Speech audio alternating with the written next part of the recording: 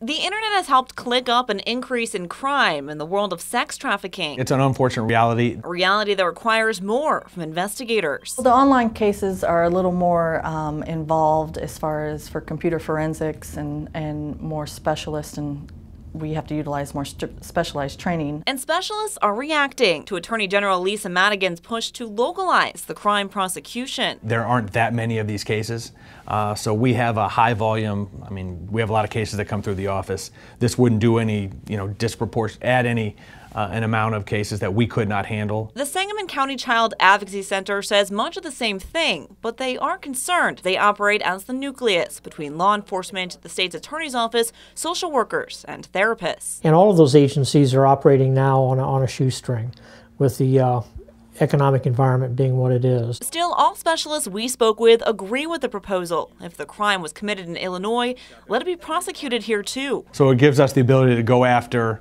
um, not only the offenders, but other individuals who were involved and helped solicit these crim the criminal activity. But the proposal would require more work. If a sex crime online was then carried out on the streets of Springfield, the Springfield Police Department's Sex Crimes Unit would be the primary agency involved throughout the prosecution process. The local advocacy center would go from conducting the initial forensic interview to assisting in any medical or legal advocacy, assisting in protection orders, and attending all court hearings. From the numbers that we've seen, uh, dealing with the cases we have, uh, it doesn't appear that we would have to take on any more personnel.